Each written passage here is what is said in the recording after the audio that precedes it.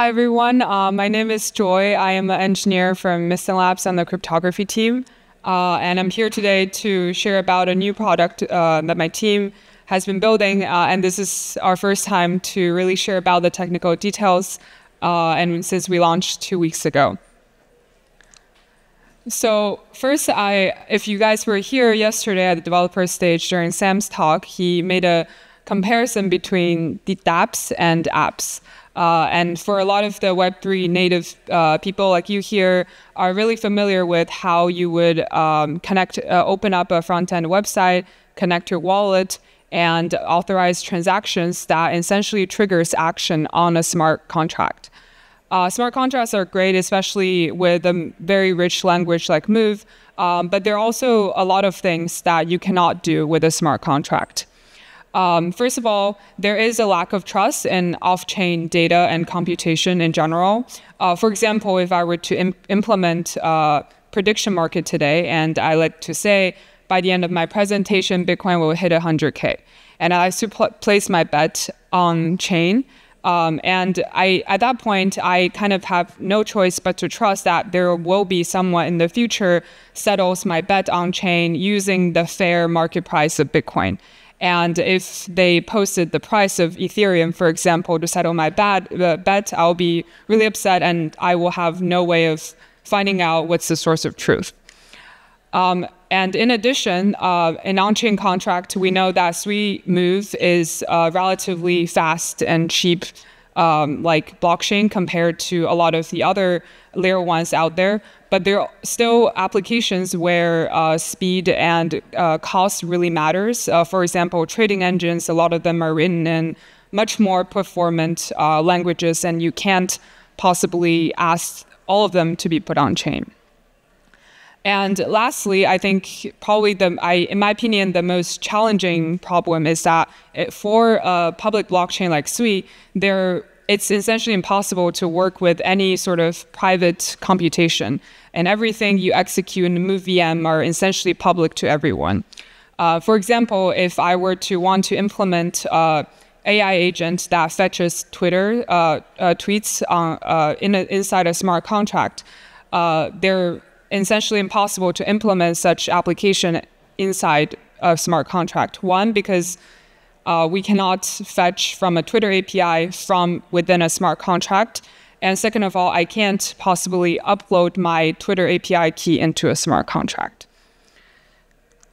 So assuming that these are the computations that has to stay off-chain for these uh, reasons, then uh, the question now comes down to, can we still use these off-chain computation result on-chain?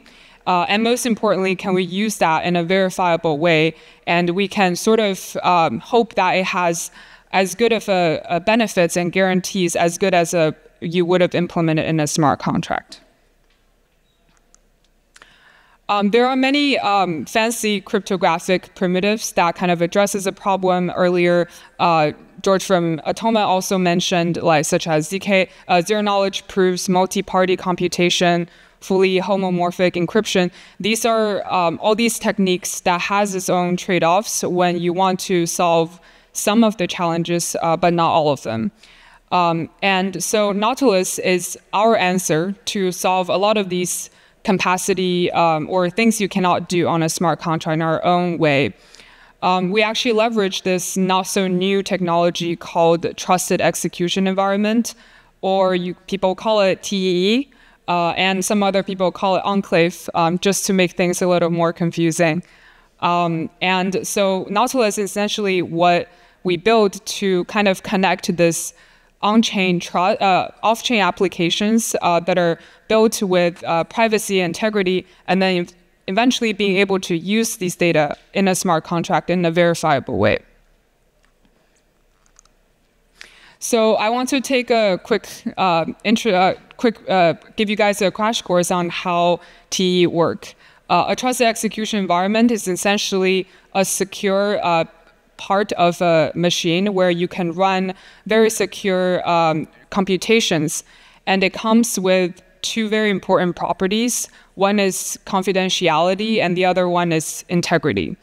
Uh, what I mean by confidentiality is that you can actually generate um, private key inside the enclave. Uh, and you will have the hardware guarantee that no one else can have access to such private key, um, even even for system programs that has um, privileged uh, pri pri privileges. Um, and in that case, you can imagine there are very powerful things that the T, uh, enclave can do. Is that you can encrypt certain sensitive data to the uh, to the enclave, and only the enclave who owns who has the only ownership of such private key can decrypt such information and then returns your result. And the second property uh, is another very important one is that uh, TE's uh, computation results are verifiable. Uh, what that means is uh, when you ask a TE to process a data, uh, process a piece of data, you will essentially get a response that is called a testation document. And what it does is that you can actually verify it uh, publicly that the code running inside the enclave is uh, authentic. So you can think of it as, uh, and this is a very powerful feature because uh, these, this attestation file is can be verified by anyone, uh, any client that is outside the enclave. And um, so Nautilus, so how does TE relates to Nautilus as a product? Um, so uh, for for uh, for a uh, Nautilus uh, application, it essentially comes with two parts, two components. And as I mentioned earlier, for this verifiability of uh, attestation document, we actually implement that as a native uh, move function. So um, on one side, for anyone who wants to run a TE server in a self-managed environment, um, you can run that code inside such environment. And on the other half, uh, you can actually write a decentralized application in, in smart contract that can verify such attestation file. And then as part of your smart contract. The way I think about this is you can essentially write a dApp, but then you outsource some computation outside the enclave, I mean, outside the smart contract, and then you can still bring back such computation on chain in a verifiable way. So, um, and uh, currently we actually support uh, the AWS Nitro enclaves, and it is one kind of the TE providers out there that is cloud-based. Uh, and currently, uh, we, we have uh, long-term plans to support other enclave providers. Uh, and the trust assumption here is you can basically trust that as long as AWS is not compromised, you can trust that the attestation file is uh, can be verified and the enclave running inside the environment is secure and um, and in an isolated place.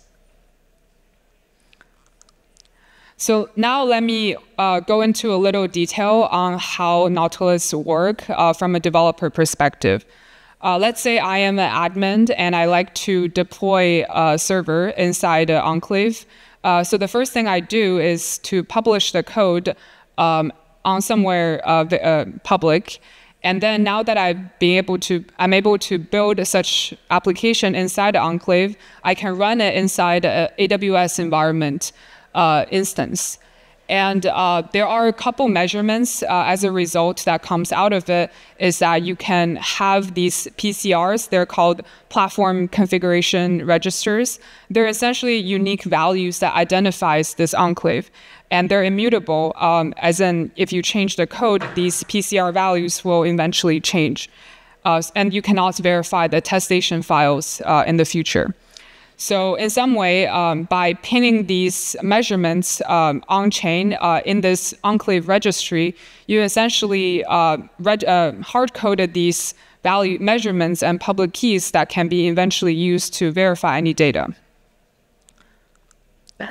So from a user perspective, um, I can optionally look at the code you published uh, as a developer and then check that if they actually build to the same uh, measurements that you claim to build uh, that is pinned on chain. And the rest is really simple, um, just similarly to how a user will interact with any um, traditional applications, the first thing you do is to talk to this AWS uh, Enclave instance to process your data. So for example, I can say, um, I want my app, let's say my application is uh, fetching Bitcoin price from the enclave uh, from Coinbase.com every minute, and they will provide such uh, computation inside the enclave. So as a user, I can, now that I verified that the code running inside the enclave is indeed doing what it's saying that it does, um, I can interact with it and fetch the value. And, um, and at that point, you not only have uh, the data itself, as in the Bitcoin price today, for example, you also have this si uh, signature. You can consider it as a proof because now that uh, the data itself is signed by a private key that is only existence in the enclave that the developer claimed to deploy to. And now that the, as a user you have such data, you now can interact with your uh, smart contract by just invoking this move native function that we added to Sui Move by checking that um, the signature and the data is consistent with the enclave that was registered earlier with a testation, uh, testation file. And you know you can derive such trust because uh, you're convinced that the data is, uh, the application, the code is not modified and is only fetching the Bitcoin price of today and nothing else.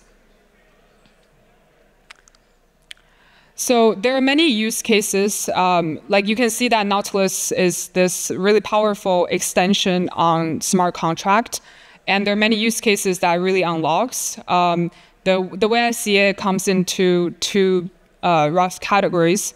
One is on integrity, where you need integrities on data for your decentralized application.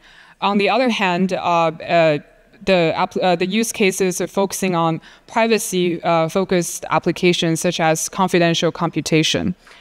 Um, so the first use case on trusted oracles, um, very easy to understand. Um, you go to a Web2 service and you fetch certain uh, Oracle data such as weather, asset prices, or any outcome of sports events.